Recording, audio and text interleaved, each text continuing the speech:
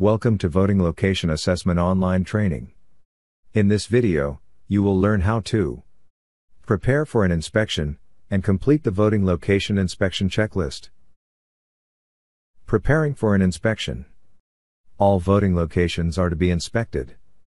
Each inspection must be done in pairs for safety reasons and will take approximately 30 minutes. The RO will ensure each pair has the schedule, with the date and time to meet with the landlord.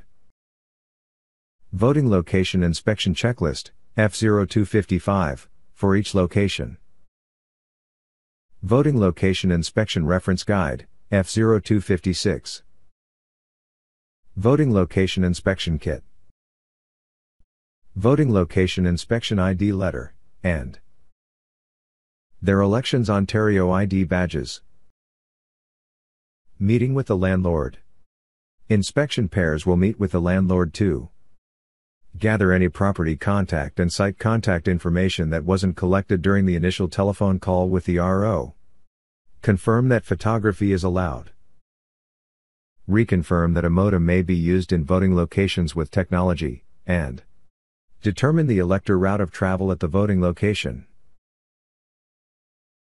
Landlords or property managers may opt to walk you through as you complete the inspection. If landlords or property managers ask about placing a hold on dates, rental agreements, or have any other questions, you may let them know that Elections Ontario will follow up once locations have been reviewed and approved. Completing the F0255. The first four pages of the inspection checklist may have already been completed by the returning officer. Inspecting pairs should ensure that all fields are appropriately filled out. Validate the location name and address. The location name is the official name that is known to the public. The location address is the physical, or street address. This information must be accurate, because it will appear on the voter information card, the Elections Ontario website, and used by electors to locate their voting location. In the additional location information section, ensure the following is identified.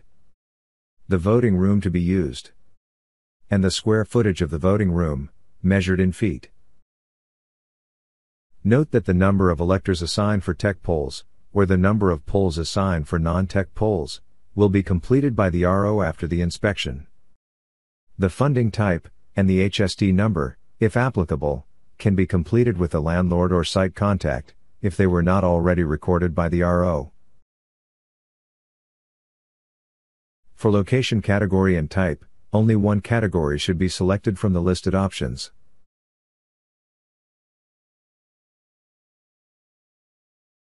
The location poll type and voting process section will be completed by the RO. If technology process is checked, you will need to complete the technology assessment portion of the inspection.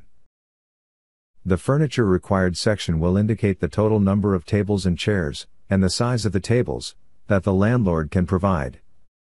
The RO may complete the requirements for furniture still to be ordered, after the inspection is complete.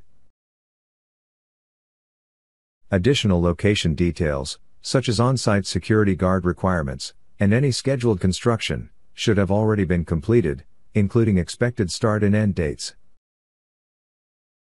The accessibility information section is filled out after the inspection is complete. The information in the contact section must be carefully and accurately captured, as some of this information appears on the rental agreement, and or, the check issued to the landlord. The landlord is the name of the organization or company that owns the location. The RO will include the main contact person here. The payee is the name of the organization or company that receives the payment for the location rental.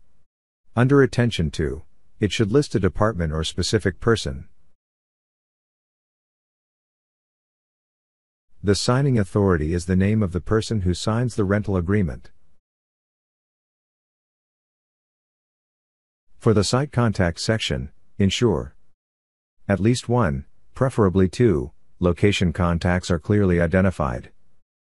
This is the person the RO will contact if there are any issues during advance polls or on polling day. In the comments section, Identify any relevant information that may affect whether the building can be used as a voting location. Enter the date the inspection was completed, and sign. The RO will date and sign the second line, upon completing data entry in EMS. The next step is to assess the voting location for accessibility. There are seven categories to review. You will evaluate each item for accessibility, and assign a score based on the description in the points column. If the criteria score exactly meets the minimum points indicated, you must indicate which remediation product is required, and specify the quantity in the remediation products table.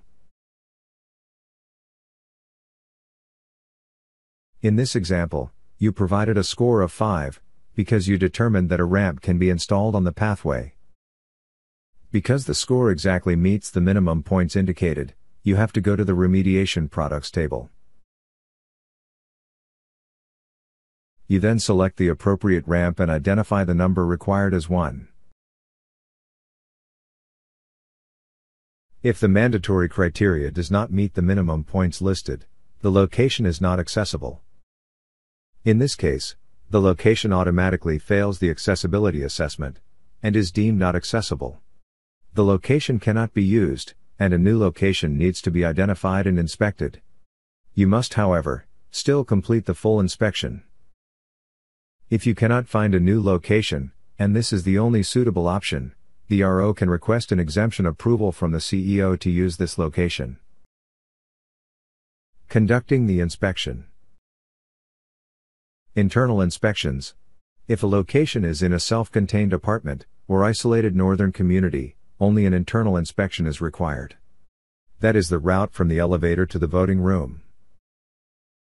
In this case, signage, accessible parking, exterior pathway to building entrance, and entrance to building assessment criterion are not mandatory, and do not need to be inspected. Beginning your inspection. An accessible route is barrier free. According to the building code, barrier free design means that a building and its facilities can be approached, entered, and used by persons with physical or sensory disabilities. The route can include ramps, curb cuts, and elevators, but the transition from one area to another must be barrier free. Before assessing the voting location for accessibility, discuss and determine with the landlord the most accessible route from the parking lot to the voting room, or, for internal inspections, from the elevator to the voting room which entrance will be available on polling day, and or, advance poll days, and any impact to students if the location is in a school. The route you follow during the accessibility assessment is the route electors will follow, and should be agreed upon by inspecting pairs and the landlord. Complete each section of the voting location inspection checklist, F0255, using the following guidelines. You can also refer to the voting location inspection checklist, reference guide, F0256, for detailed instructions. Signage Evaluate the building signage for its visibility and readability. For categorization purposes, your first photograph should always be of the building and its signage. Only take subsequent photos if you encounter accessibility challenges, obstructions, or other issues during the inspection. Accessible parking. According to Elections Ontario's site accessibility standards, proximity to transportation and parking at the site are not a requirement. The parking criteria will only fail if the building provides parking, but does not have the correct number of accessible spots, and additional spots cannot be created with remediation products. The number of required accessible parking spaces is determined by the total number of parking spots available. For instance, if there are a total of 10 parking spaces, there must be at least one accessible parking space. You will likely be conducting your inspections during the day, so you may ask your contact if the building's exterior lights work and stay on. If there are no lights in the parking lot, look for nearby street lights. Ensure the parking lot is located on firm and level ground, and there are no large potholes or recessions in the pavement. Exterior pathway to building entrance. Examine the characteristics of the pathway and take measurements of its features, including the width, level, slope, and ramp width, slope, and handrail height, if applicable. The pathway is the route taken from the parking lot to the entrance the voters will use on polling day. This may not be the building's main entrance. Along the route, a pathway may have a slope or a permanent or temporary ramp. The entire pathway, including any ramp, needs to be wide enough and within accessible slope limits so that a person using a wheelchair, scooter, or service animal can travel safely and without obstruction. If a ramp has a slope between 2.8 degrees and 4.8 degrees, handrails are required and must meet the minimum height and width requirements specified in the checklist. Any slope steeper than 4.8 degrees does not meet the accessibility requirements. Only an improper or missing ramp that cannot be fixed with remediation will fail the mandatory criteria. The standards for paved pathways are specific only to the location property itself and do not include municipal sidewalks or roads leading to the location. Entrance to building. Evaluate the lighting, and measure the width of the entrance, as well as the height of any doorway thresholds. When measuring doorways, be sure to measure the clear open width. For example, measure from the door frame across to the narrowest point, which might be the crash bar mounted on the door. If there is a center post, which is typical with double doors, and the door is not of sufficient width, check with the landlord to determine if the center post can be removed for polling day. If this is possible, indicate this requirement on the checklist, F0255, and route of travel. When measuring the door threshold, lay your clipboard across the threshold, then measure the threshold gap from the bottom of the clipboard to the ground using your tape measure. The measurement should be 1.2 centimeters, or below, to meet accessibility standards. If a door has a power assist opener, ensure that it works. Some facilities disable the power assist. You will need to ensure that it functions correctly, and if it does, that it will be active and available on voting days. If a door does not have a power assist opener, conduct a closed fist test. The fist test is a simple way to evaluate levers, door handles, and other devices that can be manipulated. Using a closed fist, try to open the door. If a door does not pass the fist test, check with the landlord whether the door could be left propped open on polling day. If this is not possible, an information assistant must be stationed at the door to assist electors. Mark this requirement on the checklist, under the remediation products table. A poll official will verify Power Assist once again prior to voting days.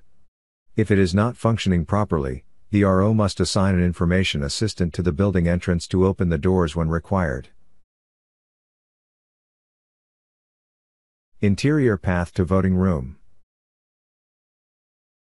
Measure any slopes, ramps, thresholds, corridors, and doorways along the path to the voting room, ensuring the route is accessible and free of obstructions. When evaluating the interior path, remember that highly polished surfaces can be slippery, and wet and loose mats can be tripping hazards. Score the floor surface based on the section of the route with the worst condition. Overhanging or protruding objects in school hallways can include a cupboard or trophy case. A remediation option would be to place a table underneath it, so a person with a visual impairment can tap the table with their walking stick to warn them of the obstacle. Next, score the voting location on whether the voting room is located on the ground floor, or if an elector can use an accessible elevator to reach the voting room. Elevator requirements include proximity to the entrance, signage, door opening width that meets the accessibility minimum, door closing delay of at least 8 seconds, and buttons that meet accessibility requirements. Use your tape measure to determine the distance from the elevator to the main accessible entrance. If it is too far, you will need to approximate the distance by measuring your stride and then walking the distance, counting your steps. To measure your stride, Extend the tape measure approximately 1 meter, lock it, and place it on the ground. Start with both feet lined up with your toes at the zero point. Take one step forward, parallel to the tape measure, and record the length of your stride to the tip of your toes. Now try to maintain a uniform stride as you count your steps from the entrance of the building to the elevator. Multiply the steps by the length of your stride to get an approximate distance. A final important task is to ask the contact whether an elevator requires a key, or an operator, and ensure it is identified with appropriate signage. Record this information on the checklist, F0255. Accessible washroom for staff. Elections Ontario is not required to provide bathrooms for electors, but we do provide accessible washrooms to accommodate poll officials.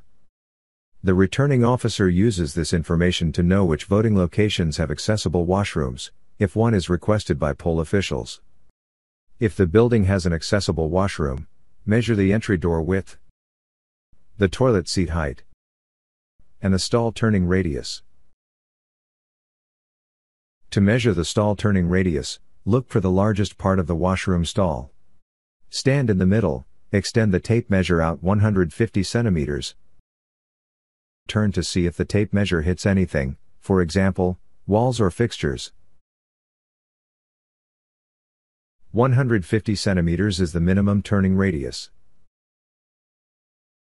Throughout your inspection you may have identified accessibility issues at the location that can be modified on polling day with remediation products. These products include ramps for thresholds, slopes and steps, cones for marking accessible parking spots, additional signage, and information assistance to open doors without a power assist opener. In cases where you need a temporary ramp, for every 1 inch vertical rise, you require a 1 foot horizontal ramp. A temporary ramp may extend several feet from the threshold. Consider whether or not this would impact the accessibility of the pathway. If existing parking is not accessible, you can use cones or pylons to delineate accessible parking spaces. Temporary signage can be used to direct electors. If the building entrance does not include a power assist, or it is not working, you must request additional information assistance to open doors for electors who may require assistance.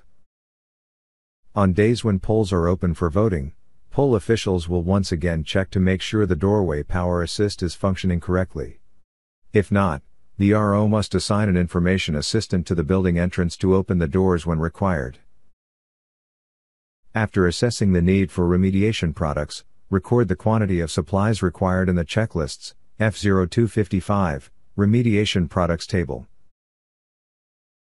The next section of the voting location checklist, F0255, is route of travel. Draw a clear diagram of the accessible route, as agreed upon with the landlord. Indicate any accessibility issues, and where remediation is required. All existing ramps, stairs, and doorways along the route, and any measurements. This diagram has many purposes. It is included with the lease agreement, used to assist schools in determining if the route will impact students, and is reviewed by the poll supervisor when they visit their voting locations, to ensure no changes have occurred between the inspection and polling day. Technology Assessment All advance polls are technology polls, and will be equipped with e-poll books and tabulators. Polling day voting locations with 1,000 electors or more may utilize technology equipment. You will complete the General Technology Assessment section if technology process is checked in the location poll type and voting process section. This assessment determines if the voting room can support technology, and also assists returning officers to review and update polling division boundaries. The General Technology Assessment is divided into three sections. Electrical Connectivity Setup date and time availability Electrical To complete this section, you will Identify the total number of three-pronged electrical outlets on each wall in the voting room. Test the three-pronged outlets using the receptacle tester, and record how many are functional and non-functional for each wall. Record how many electrical outlets have physical issues for each wall, such as blackened, loose, or missing cover plates. Describe all known electrical issues in the location. Section 2 is connectivity. Check the signal strength using the Open Signal application installed on the provided smartphone. Record the signal type and signal strength in the voting room. If the signal strength is 2 bars or fewer, walk around the room to find the wall with the strongest signal strength. Then run the speed test. Record the download speed, the upload speed, and the latency, aka ping, on the inspection checklist. Setup date, and time availability. Voting locations with technology require poll officials to enter the premises the day before polls open, to set up and test the equipment. This takes approximately 3 hours, from 5 p.m. to 8 p.m. The furniture will also need to be set up at this time if possible. Confirm with the landlord that the voting room is available at this time, or if they require an alternate time or date. Indicate this information in the setup date and time availability section of the checklist, F0255. The rental agreements will indicate the compensation the landlord receives for the use of their space for this extra day. The equipment needs to be securely locked up overnight, and the RO must arrange specific security measures.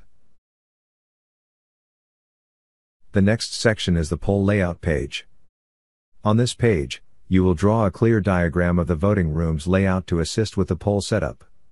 This includes the furniture, placement of staff, and the technology equipment, if applicable. You must draw one for each location. The poll layout must include the following information. Voting location name and address.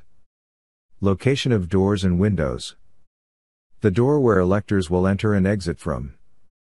Any accessibility issues and proposed remediation, for example if the power assist door fails the minimum requirements, and an information assistant will be required to assist electors. The total number of electrical outlets present on each wall, including their functioning status. The signal type and signal strength, in number of bars. For locations with 2 bars or less, the ping, download, and upload speed nearest the wall with the strongest signal, the poll official will also use the diagram to review the location before polling day, or advance polls, to ensure there are no changes to the voting location since the inspection, and to set up the location. General Security Assessment You will also conduct a security assessment of each potential voting location. The security assessment involves determining whether the voting location has motion detectors, alarms, angled corners, clear sight lines, exit signs, and safe areas, among others.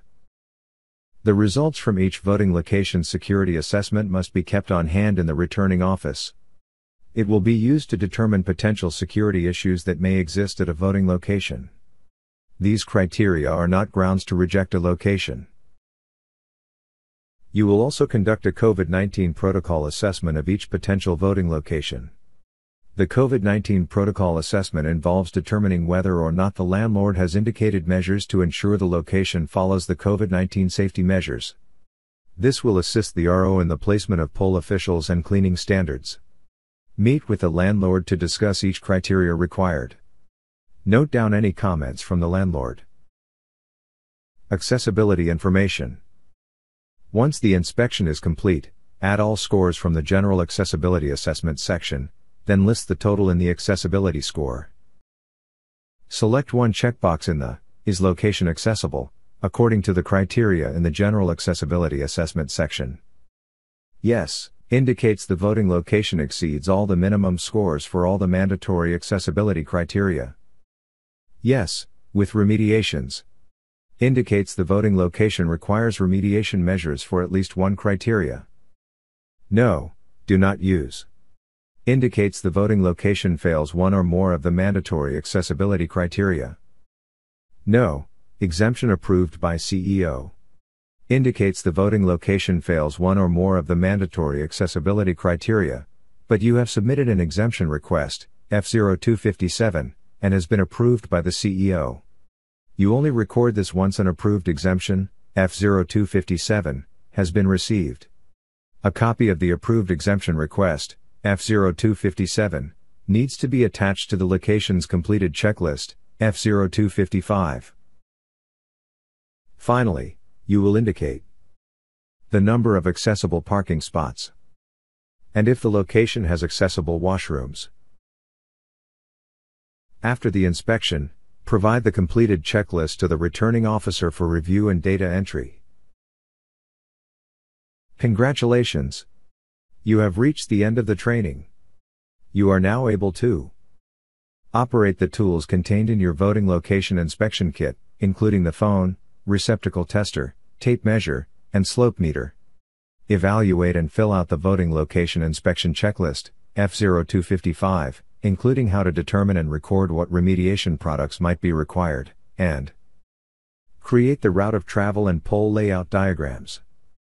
Topics in this training are covered in detail in the Voting Location Inspection Checklist Reference Guide, F0256, and in EOpedia. Please refer to the guide for assistance when conducting an inspection.